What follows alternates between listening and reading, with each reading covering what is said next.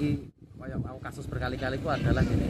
Dia itu dikejar waktu akhirnya nge-bypass itu ya. Kayak kayak pas ada Yudit itu loh.